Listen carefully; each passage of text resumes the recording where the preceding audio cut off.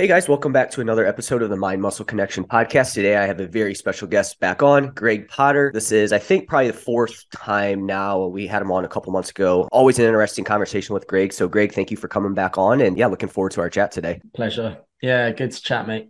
Yeah. So I guess before we dive into it, it hasn't been too long since we chatted. Is there anything that's gone on in the last like month or two you're in that, you know, interest to the, the to the audience? Not really anything that I can speak about just yet. But I think it would be of interest. So I'll awesome. keep my sealed for now.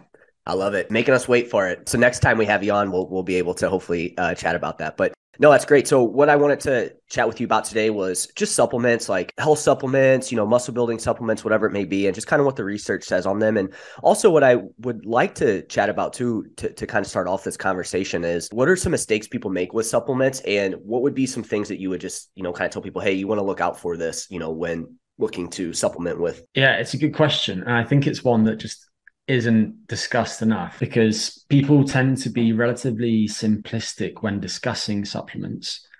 And I just try and consider many different factors without unnecessarily overcomplicating things. So, just to mention a few of these, one of them would be the fact that you might take a supplement for one thing, but supplements tend to influence many different outcomes. And so, if we think about supplements for sleep, just as an example, then maybe you're struggling with stress related sleep issues and you also struggle with anxiety, you have a bit of a low mood, that would benefit from a different supplement. If you struggled with stress related sleep issues, but you also had some other goals and you didn't have that low mood. So let's say that you were keen to lose fat, just as one example. Another consideration is how these supplements interact with each other. And frankly, we really don't know that much about that particular subject because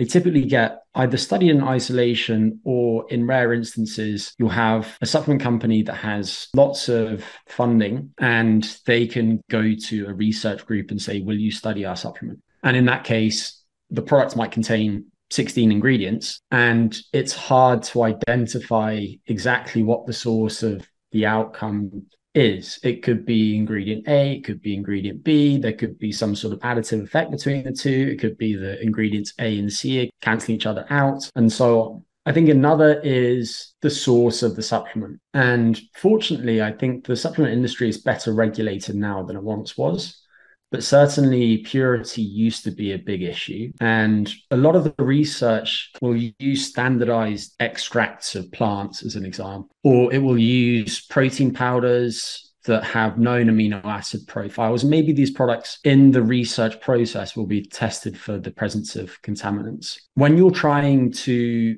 recapitulate the effects that were found in a particular study on a particular supplement, you want to try and use the same product that was used. And for that reason, I think using standardized extracts and ideally products that have been tested by a third party for the presence of contaminants and to check that they contain the concentrations of active ingredients that they claim they do is really important. And I think that's most relevant to things like plant extracts, but it can also be relevant to things like fish oil, protein powder, and so on. And famously, there have been a few instances of supplements containing various different banned substances. Years ago, I think that happened quite frequently. There were many different products that were tainted with things like androgenic anabolic steroids and various stimulants too. I think that happens less and less now. But fortunately, there are websites such as Consumer Lab where people can go, they can subscribe, and they can find various different supplements there where this company has gone, it's pulled a bunch of products off the shelves and it's tested those individual products for the active ingredients and then also for common contaminants. So, just as an example of this, let's say you were interested in taking curcumin for joint health. Turmeric is quite often contaminated with lead, and curcumin tends to be extracted from turmeric. And so there's a chance that some of those products would contain substantial amounts of lead, which is a heavy metal that's quite toxic and incredibly hard for your body to eliminate. And so it makes sense to test those products for the presence of lead. Or if you're using a cocoa product, then it would make sense to test for the presence of cadmium, which is a heavy metal that's common in the soil, particularly in Latin American countries. Then, of course, there are products that are available available that contain so-called proprietary blends. And really that's a way of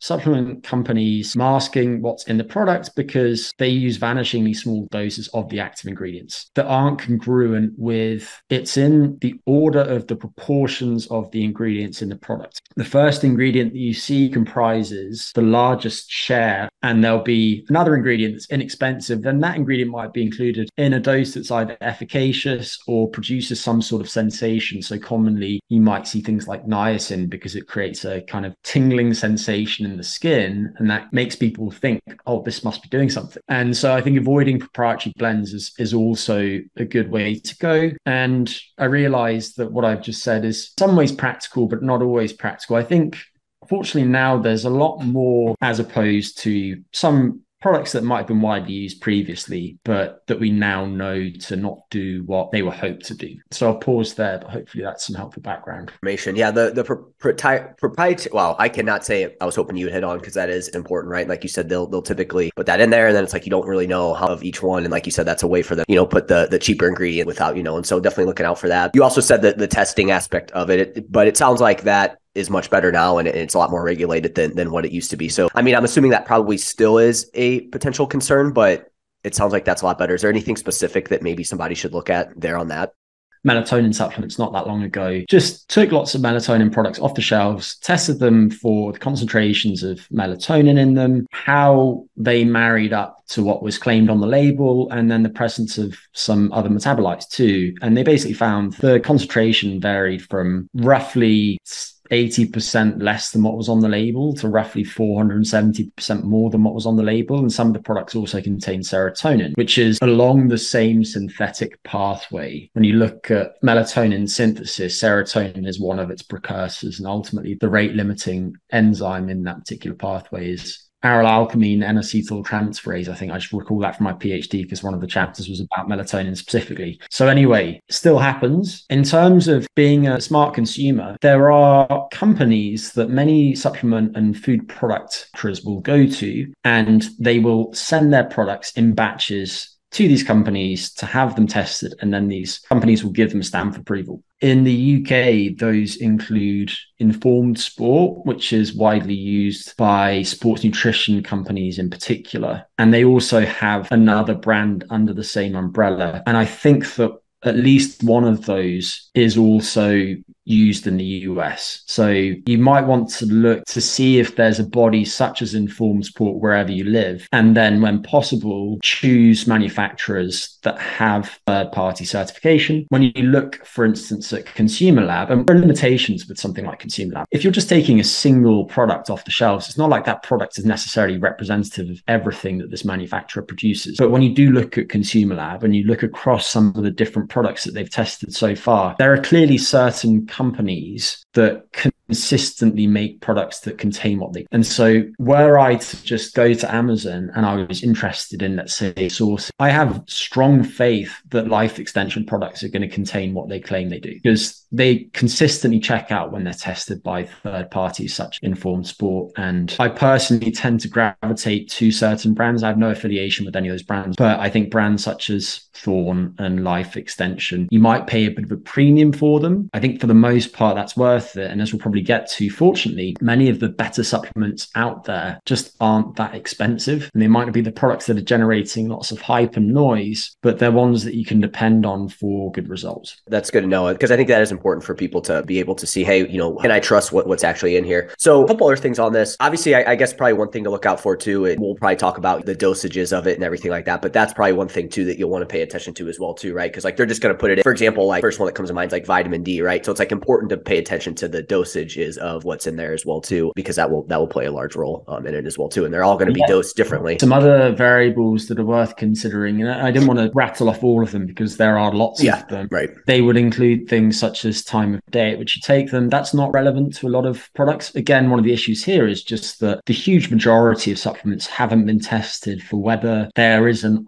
ideal time of day at which to take them. And in my mind, the best way of looking at that would be to look at timing of intake relative to somebody's biological clock, their circadian phase. Just because your 8 p.m. Jeff isn't necessarily my 8 p.m. Right. If I naturally fall asleep at 10 p.m. and you naturally fall asleep at midnight, then 8 p.m. is at a later circadian phase for me than it is for you. We do know that this is relevant to some supplements. So let's say that you're using caffeine as a pre-workout product and you train in the afternoon and you train at 5 p.m. You normally go to bed at 9 p.m. You wouldn't necessarily want to take six milligrams of caffeine per kilogram of body weight at 4 p.m. because there's a good chance that unless you have extraordinary liver function and genetics that encode certain receptors and enzymes that degrade certain drugs, that is going to interfere with your sleep. So, time of day is definitely one of them. Another is some products have known interactions with other food constituents. So, just as an example of this, we know that carbohydrate can increase muscle creatine uptake. And so, it makes sense to consume that with some carbohydrate if you're trying to maximize your uptake of it. I think over time, that probably washes out, but there are clearly some products that are best taken with food. Perhaps a better example would be something like taking a fat soluble vitamin. If you're going to take vitamin D, it would be best to not take that on an empty stomach, but maybe to take that with say your first meal that contains some fat. We also know that something like dietary fiber might interfere with the uptake of certain supplements. And I think this is probably very relevant to things such as minerals. Sometimes there are known interactions between minerals where we know that one mineral will block the uptake of another. There's some sort of antagonistic relationship between the two. Some of this is also relevant to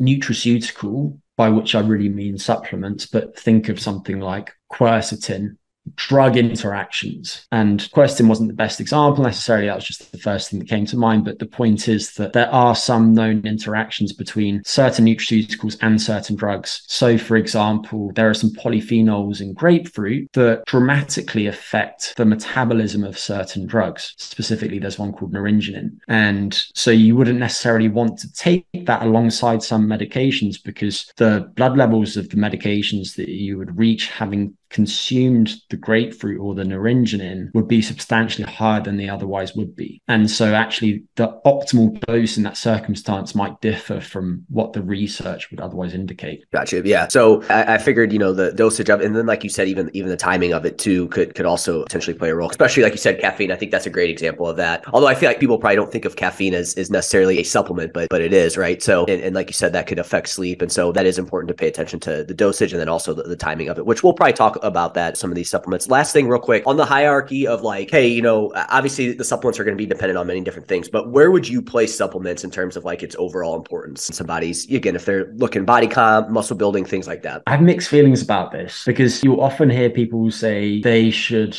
be an afterthought. You should attend to everything else first. Get your training right, get your nutrition right, sleep well, and attend to all those other lifestyle factors before worrying about supplements. And I understand that perspective. But at the same time, when you look at research that's been done on dietary supplements, it doesn't ask people to make other changes to their lifestyle for the most part. Yeah. And yet it does show benefits for certain supplements. So, from my perspective, why would you not consider using supplements from the start if there's clearly a strong indication to use this supplement for this person? Because it can be a really easy win. So, let's say that you've got somebody who is having a hard time building muscle, and yes, they absolutely should try and optimize their training, their nutrition, and so on. But why wouldn't they just start taking creatine monohydrate too?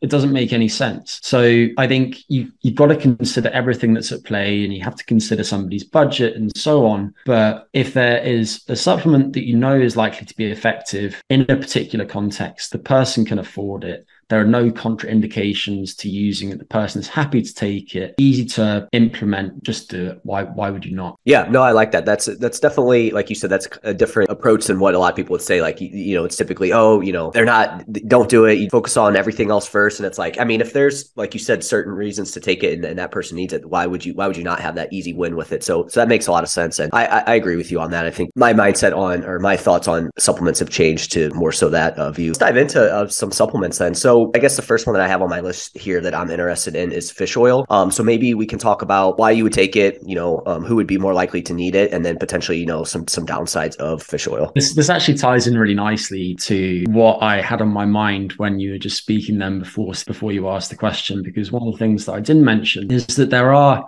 supplements that people consume for their content, but you can get those contents from foods. And in many instances, it's probably actually preferable to get them from foods. And fish oil, sure enough, is a perfect case in point in my mind. If you look at the associations between, say, fish intake, consuming oily fish such as sardines, mackerel, salmon, and brain health, the associations are stronger than between taking fish oil supplements and brain health. And that's probably in part because some of the fish oil supplements people will consume might be stale because they're full of these highly unsaturated poly- polyunsaturated fatty acids, specifically EPA and DHA, that are very prone to oxidation and hence quickly become rancid. Whereas if you're consuming fresh fish, that's less of an issue. But just think about the fact that if you don't consume fish and you're depending on that supplement and it's been sat in your supplement cabinet for the previous year, especially if it hasn't been refrigerated, there's a good chance that that has now gone rancid. And you could probably get some sense sense as to whether that's the case by cracking open a capsule and smelling it. It shouldn't smell really fishy and have an off smell. And that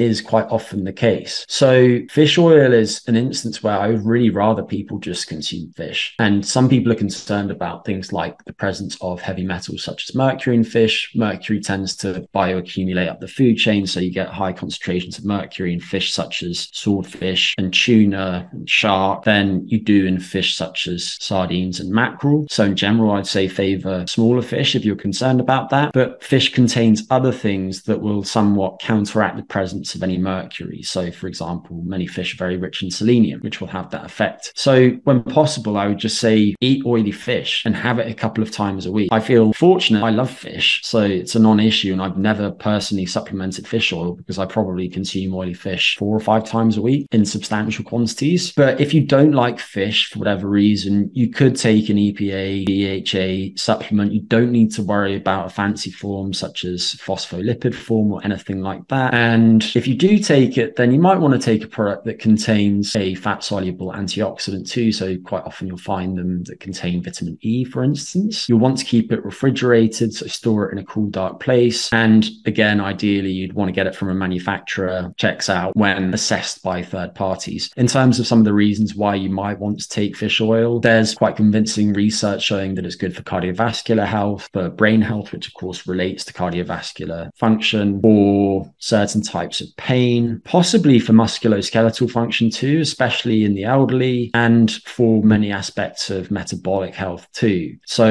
if you don't like fish, then I, I would consider supplementing it. I don't think that you need to overthink it. And then finally, if you are a vegan, then I do think you'll likely benefit from consuming an algal source of those highly unsaturated fatty acids. And I'm not very familiar with the best vegan products that are out there, but if you shop around that, I'm sure that you can find a good algal source. So, so a couple things to follow up on that. So you mentioned obviously this would be one that you would push people to consume the, the food. Did you say about two times a week is, is a good oily fish? That's that would be enough to to make up for not supplementing with it. I, th- I think so. Yeah, if somebody has a history of consuming very little fish and they haven't some supplemented fish oil along the way, then maybe they might want to initially consume it slightly more frequently. It's worth mentioning that there is some competition for uptake of different types of fatty acids. So, specifically, the omega 3 to omega 6 ratio has received some attention. If you consume lots of omega 6 fatty acids, so linoleic acid, alongside those omega 3 fatty acids, EPA, DHA, then you could crowd out some of the effects of the omega 3 fats that you're looking for. But I think that the relevance of that might be tissue specific and it's really majoring in the minors for a lot of people, and they just frankly don't need to be concerned about it. It's also worth mentioning that the fats that you consume accumulate in your body. And so if you took a, an adipose tissue biopsy of yourself, the composition of your fat mass would in part reflect your recent dietary fat intake. And so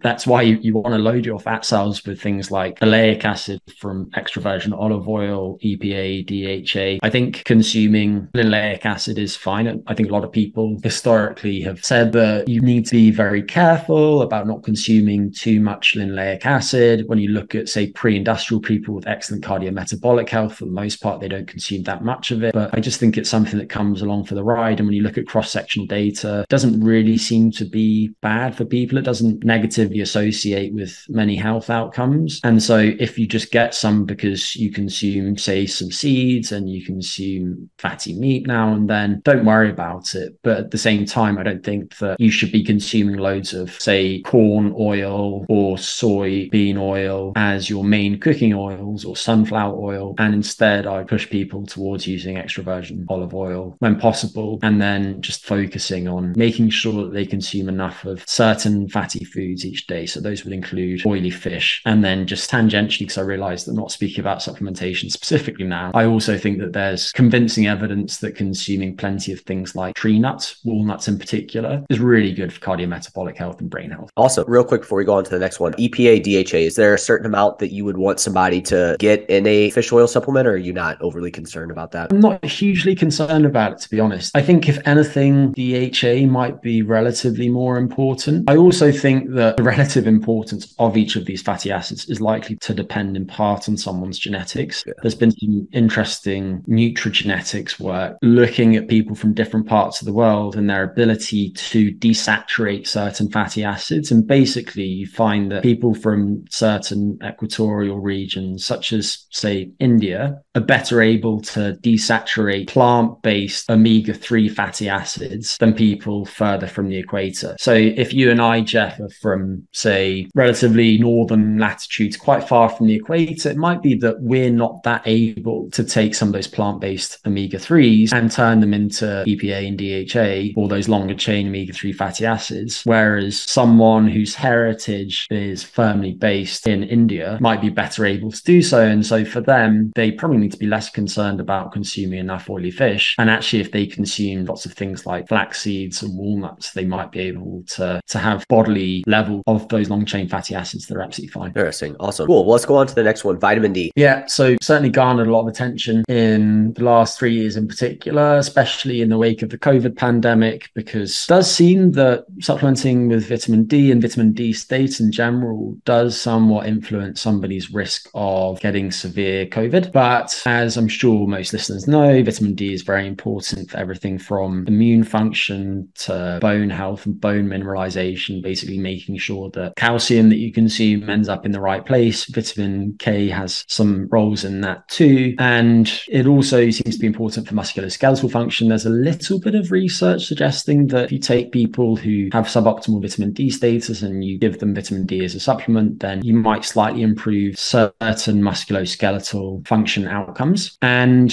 frankly, I would rather people improve their vitamin D status for the most part from spending more time outside. Our bodies synthesize vitamin D in response to UVB radiation. And the reason why I would prefer that is that exposure to sunlight has all sorts of positive effects on health, obviously, provided that you don't get burned. And ironically, what can happen is that people in countries where there's lots of sun year round have low vitamin D status because it's just too hot. And so you'd think that they would be absolutely loaded with vitamin D and they're just not. So sometimes it's worth doing a little bit of testing and, and try and work out whether that might be the case. But I think for the most part, just trying to get adequate sun exposure is going to boost your vitamin D status, but it's also going to acutely reduce your blood pressure, increase your levels of certain sex steroids potentially, lift your mood, sharpen your cognition, anchor your circadian rhythms, possibly improve your sleep. If you are at quite a high latitude, then you will likely not be able to synthesize much, if any, vitamin D at certain times of the year. And so that poses the question well, during those months of the year when I can't synthesize substantial amounts or any vitamin D, should I be supplementing vitamin D? And worth mentioning that your body stores vitamin D. It being fat soluble, it will be stored in your fat tissue. And so as you turn over your fat tissue during, say, the winter months, you will be releasing stored vitamin D into your blood that can then be used in various different tissues for all of its roles that are likely to benefit you. And so I think having some sort of circannual or seasonal change in your vitamin D status is probably okay. And again, when you think about pre industrial people who have good health, that's probably always been the case for them. You do get some vitamin D from your diet too, from things like mushrooms, but not that much. And the form of vitamin D that you want, vitamin D3, you might not get that much of either. And I think based on that, it can be prudent for people to take some during those dark months of winter if they live far from the equator. So let's just say that you lived in a polar region. I think in that instance, I probably personally would take vitamin D. I'd probably take one to 2,000 international units per day for maybe three or four months of the year. And then during the summer, I'd spend plenty of time outside to keep my stores topped up. But if you live around the equator, I wouldn't necessarily supplement it unless I was one of those people who was terrified of the sun or was just cooked as soon as they stepped outside. And so I therefore actively avoided the sun. So I don't think there's much to lose. There is tiny potential for vitamin D toxicity. It's exceedingly rare. You tend to see it with people such as lifeguards who spend loads of time out in the sun and then they supplement large quantities of vitamin D on top of that too. Don't think that's very smart. But I think being pragmatic, a lot of the listeners might want to take one to 2,000 international units per day for about three months over the winter months if they don't get that much sunlight that time of year. That's good to hear. Yeah. Cause that's, that's typically how I'll supplement with vitamin D is I'll, I'll do it a little bit more in the winter and then uh, during the summer when I know I'm getting outside and I usually cut back. But I guess also too, it would be important to get your levels checked if you can as well too from like blood work because that will obviously tell you a lot. But just to be on the safe side, you know, maybe a little bit more in the winter if you're not getting outside and then you can cut back during the summer. But I would imagine too that getting your blood work done and seeing where that's at is going to be, you know, important um, as well too. Just because I guess do some people naturally just have a little bit more vitamin D or what, is, what does that usually look like? Yeah, that, that's a that's an important question actually. And so one of the interactions that you should bear in mind is how much melanin you have in your skin. And let's say that you are of African ancestry and you now live in Boston, just as an example, where during the winter you're not getting enough UVB radiation to synthesize any vitamin D. And also because you have so much melanin in your skin, you require a higher dose of UVB radiation to synthesize vitamin D in the first place. In that case, people who have dark skin, who now live quite far from the equator, probably need to be extra particular about getting their levels checked and possibly supplementing with vitamin D. And they might say we want to favor a slightly higher dose. So let's say it's 2000 IU per day instead of 1000. Is it important if you do take, you know, vitamin D to also take vitamin K2, I believe. I think that's one that I've heard in terms of like, hey, if you take a good amount of vitamin D, you might want to take K2 with that as well too. You can. Yeah. A lot of people don't get much K2, which is menaquinone. And you can supplement that if you like. Just basically make sure that you shuttle calcium into the right depots, namely bones, opposed to your blood vessels, because you don't want calcified arteries. So you can do that if you like. Otherwise, vitamin K rich foods include things like certain types of cheese and I think certain other animal products too. So maybe if, say, you're on a vegan diet, you might want to consider supplementing with vitamin K2 as well. I don't think that it's something that most people need to worry about, but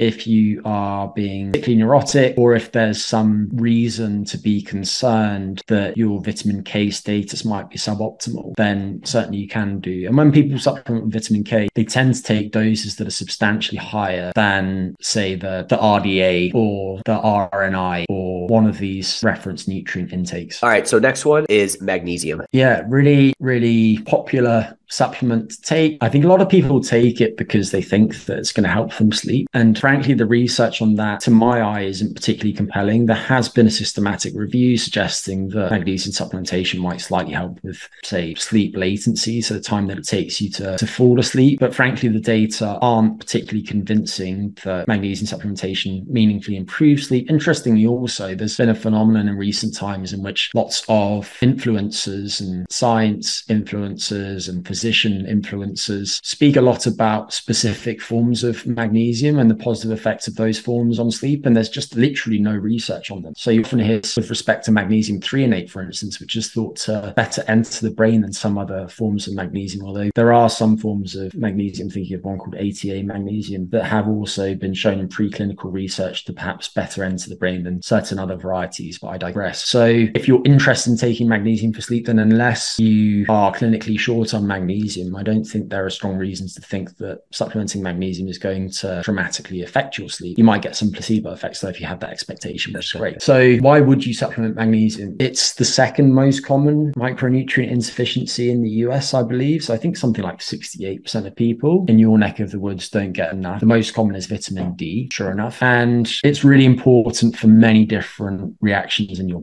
body. So I think over 300 different enzymes And low levels of magnesium strongly associate with various different unfortunate health outcomes, everything from depression to the metabolic syndrome. And that doesn't necessarily mean that you should supplement with magnesium. However, when you look at supplementation studies, and there have been various different systematic reviews of meta analyses of this subject, you do find that magnesium meaningfully improves many different health outcomes in most people. And I think the most striking data, at least to me, are showing cardiometabolic health benefits in conditions such as diabetes and the metabolic syndrome. So magnesium supplementation can reduce fasting blood sugar, it can increase HDL, it can reduce LDL, it can reduce blood pressure. It has so many different positive effects on health. And the nice thing about magnesium is that your gut uptake of magnesium is somewhat influenced by your magnesium status. So if you take too much, you'll just excrete it out. You don't really have to worry much about that. As an aside, certain forms of magnesium, such as magnesium oxide, are also quite effective laxatives. So let's just say that you, you were blocked up and you were also concerned your magnesium status might be suboptimal. You could take quite a big dose of magnesium and potentially boost your status and also help with your other issue that you're facing at the moment. In terms of forms and doses of magnesium, most of the researchers use magnesium citrate. Citrate is just citric acid. You get that in various different citrus fruits and it's got okay bioavailability. I think something like 30% of it is probably taken up, which is comparable to many forms of magnesium. It's inexpensive, it's readily available. I would personally probably just take magnesium citrate. And I think most people would benefit substantially in various ways from taking a dose of roughly 400 milligrams of elemental magnesium per day. If anything, you could take that at the end of the day. There are some reasons to think that could be helpful because if you look, say, at brain magnesium concentrations, they're higher during the sleep period, which seems to at least plausibly affect how responsive you are to certain stimuli that could disrupt sleep. And so then that's based on preclinical research. So whether that translates to humans, I have no idea. I'm not confident in that. But I think a lot of people just forget to take supplements late in the day. And so personally, I take magnesium citrate and I just take it with all of the other supplements I take, which is a very limited number of supplements. Right now, it's collagen, creatine, and magnesium citrate. I take them all at my first meal because I'm going to remember it that way. Other forms of magnesium you could look into if you wanted to. You could take magnesium bisglycinate, and again, you'd want a similar dose of elemental magnesium. Some people think that could help reduce gastrointestinal distress. Whether it does, I'm not sure. Some people think it could be better for sleep because glycine seems to have some weak soporific effects. It seems to maybe help a little bit with helping you lose heat from your core, which facilitates sleep onset. And there have been a couple of very small scale studies suggesting that about three grams of glycine can support certain aspects of sleep health. But I think the jury's still out on that one. So you could take magnesium bisglycinate. I think it's a fine form of magnesium to take, but I don't think there's convincing evidence that's any better than citrate yet. It might turn out that way, but I would just take citrate for the time being. And then there is also magnesium threonate, which is interesting. And there have been several studies now looking at taking about one and a half to two grams of magnesium. I think the commercial name of the product might be Magtein, M A G T I N, or Clarimem, showing that that might help a little bit with cognitive decline. So, cognitive dysfunction that occurs during aging. So, if you are, say, 60 plus and you're struggling to remember the names of people, you're struggling remember to remember where you put your keys and so on, then maybe you could take the appropriate dose of magnesium threonate, which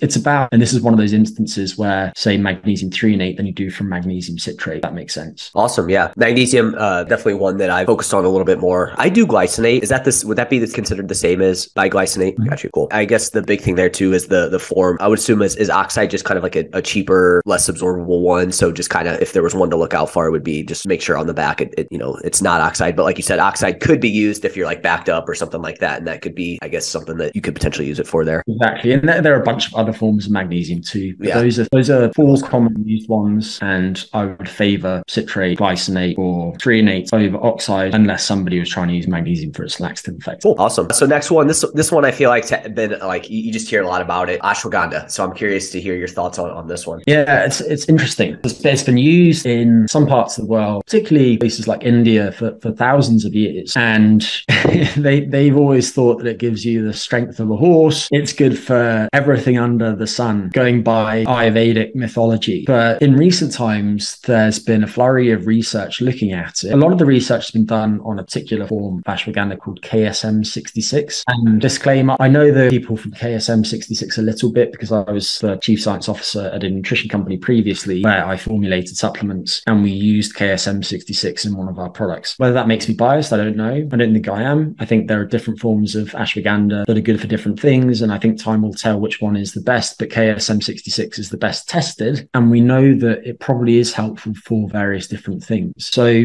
those include maybe most relevant to this audience, sleep and stress. Probably there is the strongest evidence showing that ashwagandha helps with those two things. And there's been a systematic review showing that to be the case. I think it's more likely to help with sleep in people with existing sleep problems and specifically insomnia or insomnia symptoms. And obviously, insomnia symptoms are often intimately tied to stress. And so it could be that this reflects the fact that ashwagandha can both reduce subjective stress, so how stressed you feel feel, but also objective markers of stress too, because obviously how stressed you feel is related to your physiology. And if you look, for instance, at cortisol, then ashwagandha can quite consistently reduce people's plasma cortisol levels and salivary cortisol and so on. So I think if you're feeling a bit worked up at the moment and you're struggling with your sleep, ashwagandha is an interesting option, particularly if some of the other effects that it has are ones that you see. So those include things like boosting testosterone in men. There have been several studies showing that it has this effect. And interestingly, there was a comparison between various different potential testosterone boosters not that long ago, suggesting that ashwagandha was one of the top two candidates. And if you look across studies, I think the average effect is probably something like a 15% boost in testosterone levels when ashwagandha is taken over many weeks, which is, I think, clinically meaningful for a lot of people. Maybe related to that, there have been a couple of studies suggesting that taking ashwagandha can improve adaptations to resistance training. And one of the studies used KSM 66, one of them used sensoril, which is another form of ashwagandha. These forms of ashwagandha differ in various ways. So sometimes they will use different parts of the plant. So one of them might be a, a full spectrum extract using all of the plant, one of them might be a root, one of them might be a leaf. And sensoril is very concentrated in what are thought to be largely responsible responsible for the effects of ashwagandha, namely the withanolides, whereas KSM 66 is more balanced extract. It's not been designed to be highly concentrated in particular chemicals from the plants. But both of those studies showed that when people take ashwagandha alongside resistance training, they have better improvements in body composition. So they they both end up with slightly less fat mass, but also slightly more muscle mass, and they gain strength slightly faster and possibly some other adaptations too. And there was a review that looked at all of the different studies of ashwagandha and exercise performance, suggesting that it can not only improve strength and power, but maybe also cardiorespiratory fitness too too. So I think for people who are trying to improve their physiques or who are training for sports, maybe if they're a little bit prone to low testosterone levels, let's say they're prone to relative energy deficiency, they just don't consume enough calories and carbohydrates in particular, then I think ashwagandha is a, is a great candidate for that type of person. And I suspect there are a few of those people listening to this right now. I know historically I've been one of those people. Fortunately, nowadays I'm, I'm certainly not. In terms of the different forms of ashwagandha to take, the studies of KSM 66 have typically had people take 300 milligrams twice a day, 600 milligrams in total. Is there an advantage to doing that as opposed to taking 600 milligrams in one dose? I don't know.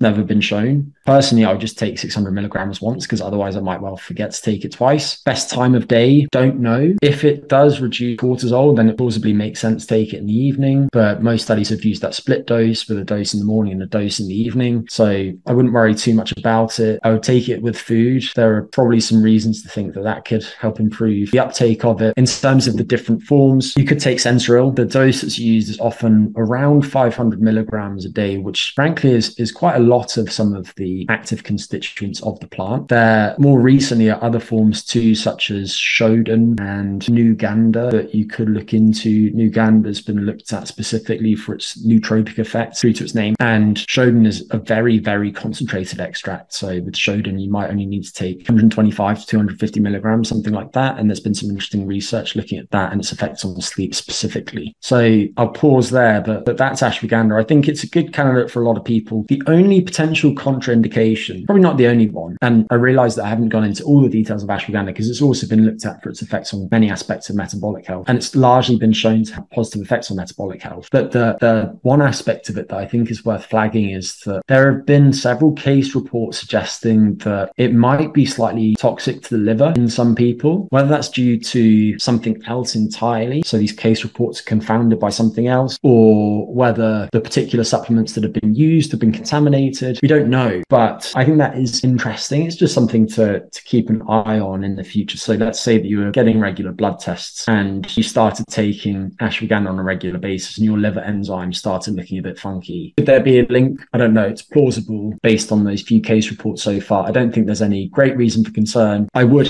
however, cycle it. So with the supplements that we've taken so far, I take I take vitamin D seasonally, I take magnesium year round, but I would cycle ashwagandha. And I think something like 12 weeks on and then four to eight weeks off is probably reasonable for a lot of people. Awesome. Yeah, I was going to ask you about that because I know that listening to Steve Paul kind of talk about it, he's mentioned too that he would like with ashwagandha, he, that's something that he wouldn't take like for extended periods of time. And I was I wanted to get your thoughts on that. And I guess is part of it that you just don't have the research on it in terms of like long term, or is it just just based on maybe it loses its effectiveness or Yeah, I think I think part of it is the lack of long term studies. I think it's one of those supplements where the beneficial effects of it accumulate over time. Some supplements you take them and you notice their effects immediately. With ashwagandha, I suspect that the effects largely accrue over time. Interestingly, one of the studies that was done recently looking at NooGandha looked at acute effects on cognition, suggesting there might be some acute effects. But I think the main rationale I have for cycling it is just that it's potent. I think sometimes people think about pharmaceuticals as being really strong and then supplements are somewhat benign. And that's just not true of some supplements. If you look at supplements such as berberine, curcumin, ashwagandha, these, these are powerful substances with respect to human biology. And so I just think that's worth bearing in mind. It's also worth bearing in mind that many of the different pharmaceuticals that have been developed over time were originally found in nature. Don't assume that just because it comes from a plant, it's not powerful. I think people recognize that more and more, especially because so many people are interested in things like psychedelics now and they realize that these can be incredibly powerful. But I, I would cycle it because it's quite a, a dirty supplement in that it does seem to affect human biology in many different ways. Awesome. Yeah, no, that's that's good to know. Still on the subject of ashwagandha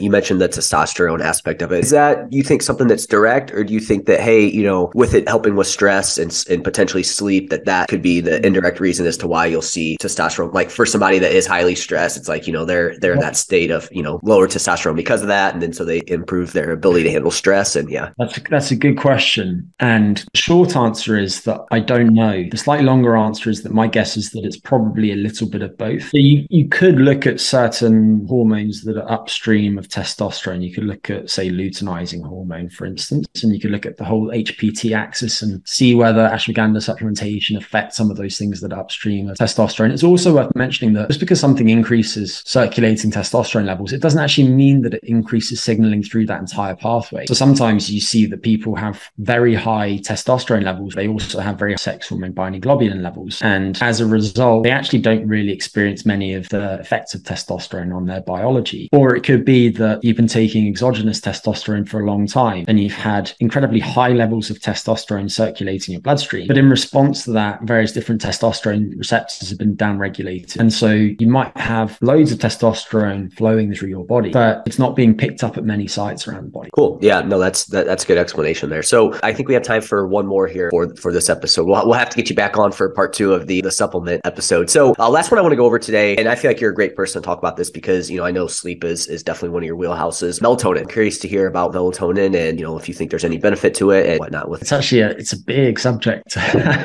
yeah, where to start melatonin? So melatonin is a, a hormone that's produced by the pineal gland in the brain, primarily during the so-called biological nighttime, and it signals to cells throughout your body by way of two receptors that it's the biological nighttime and therefore to engage in appropriate activities for that time of day. And so people sometimes think of it as being a sleep supplement, but really it's an internal time cue. It's an internal signal of darkness outside. And I think that's helpful to know because it relates to how it's best to use melatonin. On that subject, the strongest research indicating melatonin, in my opinion, is related to shifting the timing of somebody's body clock. And so if you're experiencing jet lag, if you're experiencing shift work and sleep disturbances related to trying to sleep at times of day that are out of time with your body clock, if you have certain types of circadian rhythm, sleep wake problems, if you have a disorder such as delayed sleep phase syndrome, then melatonin can be really helpful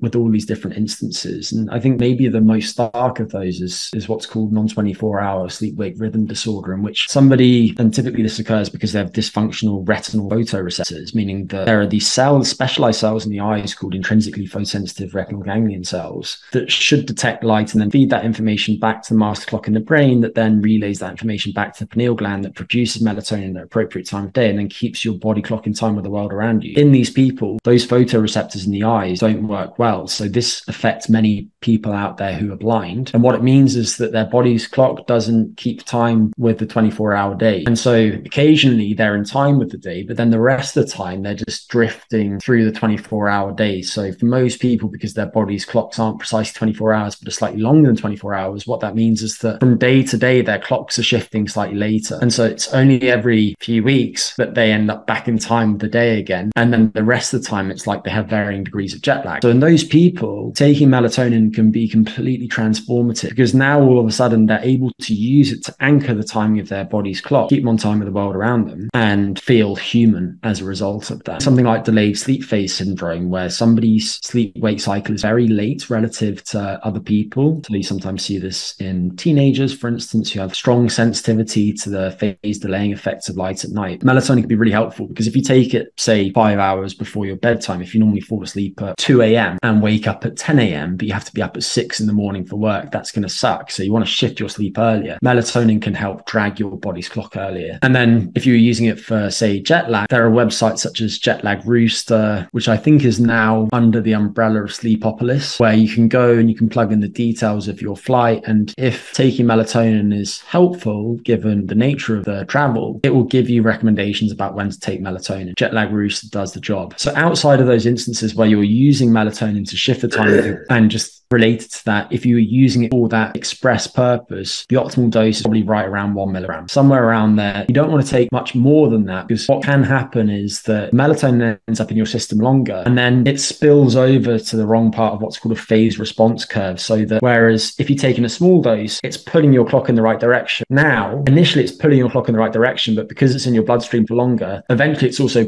pushing your clock in the wrong direction, if that makes sense.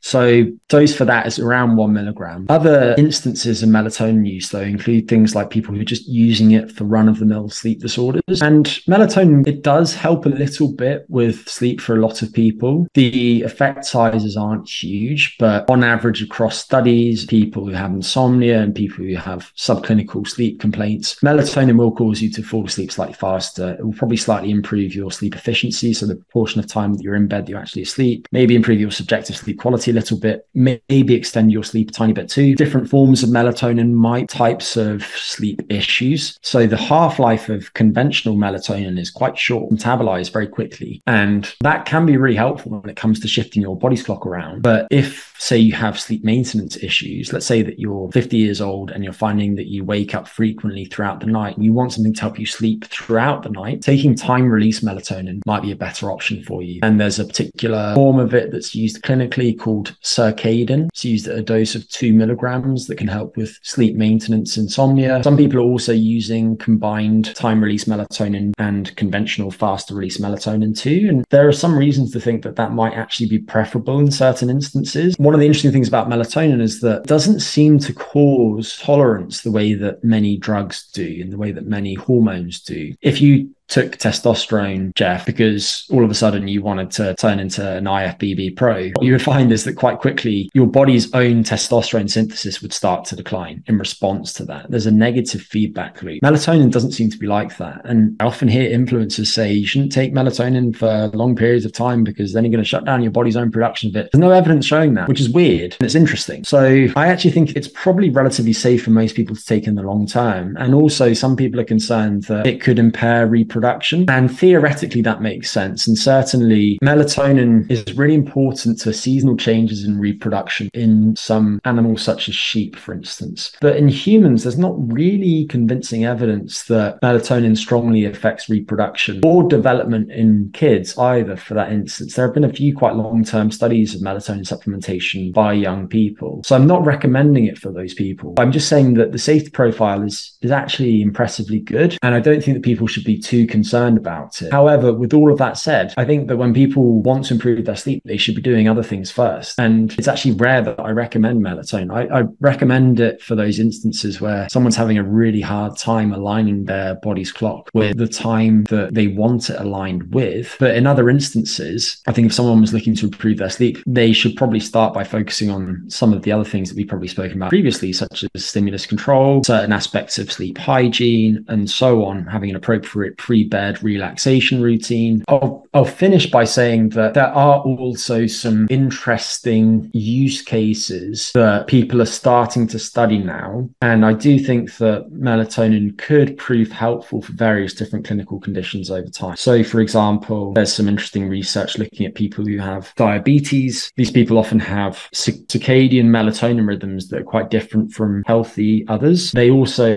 sometimes synthesize less melatonin than other people, going at least by presence of the major melatonin metabolite 6 alpha melatonin in the urine. And their biological rhythms in general have various different characteristics that differ from those of healthy other people. And so if you can use melatonin as a so-called chronobiotic to align those rhythms appropriately, then maybe there are some benefits to be had there. There are also some direct effects of melatonin on various different tissues in the body. So for example, it seems to help with beta cell regeneration, which is very relevant to diabetes. And for this reason, I think well-timed use of melatonin could help with things like prediabetes, diabetes, polycystic ovarian syndrome, certain other clinical conditions too. Some people are also very interested in melatonin for its potential anti-aging effects. And I think there are some good reasons to think that it could be helpful in those instances where people are trying to defy the aging clock because it does target many of the so-called hallmarks of aging. And then otherwise, people are also looking at the, things like COVID-19 and whether it's helpful in that instance, it's hard to tell. But just related to that, I, I do think one instance in which it can be very helpful is in, say, ICU or in a hospital setting. So if I, God forbid, ended up in hospital tomorrow, I'm in the UK, so I can't even access melatonin regardless of whether I want it. but if I had some and I was trying to sleep in that hospital setting where the lights are always on and that light at night is thereby suppressing my body's own melatonin synthesis, then I might well take melatonin to help keep my biological rhythms in check and to help me sleep at night. And I'd certainly be using an eye mask and earplugs in that circumstance that isn't conducive to sleeping well. So it just gives you an idea of how, as usual, it depends. It definitely has its time and its place. And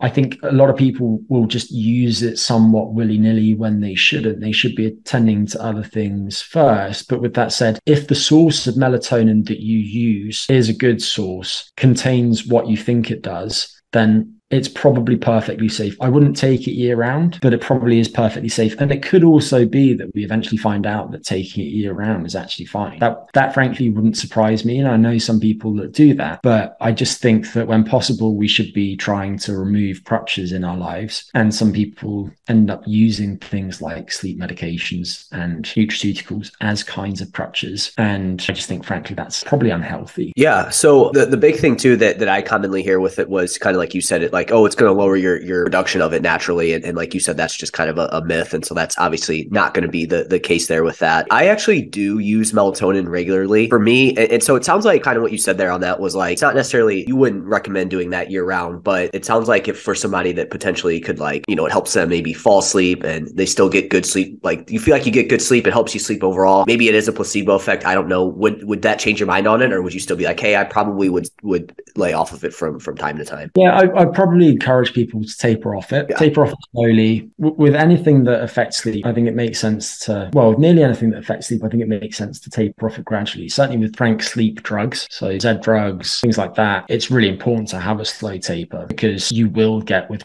withdrawal effects from them. There isn't really good evidence of that happening with melatonin. So I think you probably don't need to be too concerned about that, but I'd probably taper off it. And if anything, you'll just be saving a few bucks, bucks now and then. But with that said, I, I do want to just add a couple of details in there too. So, Jeff, if you're using it regularly, there are some interesting interactions that people should consider. There are some other interesting ones that people probably shouldn't worry about. One of them is when you eat relative to taking melatonin. So, we know, for instance, that melatonin acutely reduces glucose stimulated insulin secretion. So if you take somebody and you, you, give them lunch at 1 p.m. and an hour before that, you give them a, a, bolus of three milligrams of melatonin, their blood sugar will swing much more in response to that meal because the pancreas won't produce as much insulin as it did previously. And so what that means is that if you take melatonin before sleep, let's say that you take it an hour before sleep, if you're used to eating very late, let's say that you finish your final meal half an hour before that, so an hour and a half before bed, melatonin could be negatively affecting your postprandial response to that final meal. So I do think that it's important for people to finish consuming anything that contains calories probably at least two hours in advance of taking melatonin. So maybe just be extra particular about that. There's also an interaction here between genotype and melatonin use and food intake because one of the genes that encodes one of the melatonin receptors called MTNR1B comes in a few few different varieties. One of these is quite common. It is present in about a third of the general population. And people who have this particular genetic variant that encodes this melatonin 2 receptor have an exaggerated blood sugar response to the effects of melatonin on meals. That makes sense. And so it could be that people with that particular receptor variant need to be more particular about finishing their final meal well in advance of taking melatonin. And interestingly, people with that melatonin receptor variant are at high risk of developing type 2 diabetes, gestational diabetes, and some other related health conditions too. And my guess is that that's just because without realizing it, they've, they've had these exaggerated responses to final meals. And maybe it's also because melatonin synthesis can occur in the morning too shortly after you wake up. And if you've still got melatonin in your blood and you consume breakfast shortly after waking, then that could also affect your body's response to that first meal too. So it could be that we find out that eventually people who have that melatonin receptor variant and some other melatonin receptor gene variants too should slightly modify their eating window. And plausibly, it makes sense that they benefit from a slightly shorter eating window. So I realized that was long winded, but basically make sure that you finish eating well before you take your melatonin in the evening. That's good to know. No idea about that at all. So yeah, really, yeah, really helpful there. And definitely, you know, make sure that, that I'm not eating before it. And I think that lines up pretty, I would say that lines up pretty well with like, you know, the chrono-nutrition that we that we've talked about in the past too. You know, you don't you don't want to eat you know too close to bed, things like that. So cool, Greg. Well, we, we got through about half of them. I was wondering if how, how many we would get through. I'd love to have you back on again to have part two of this uh, supplement episode. But before I let you go for this episode, is there anywhere uh, where you'd like to lead the audience to or anything like that? Yeah, sure. Social media at Greg Potter PhD. Anyone wants to get in touch, but yeah, we'll leave it there. I, I think half is probably generous. I think we probably got got to about a quarter or a third. yeah, that's often the case with me, unfortunately, Jeff. I love it. Ton of information. I'd rather it be that way than just be like melatonin and then okay on to the next one. So and then hopefully next time we have you on too, we can hear about your little teaser that you had at the beginning of the episode as well too. So awesome, great as always. Ton of great information in here, and we will chat with you soon.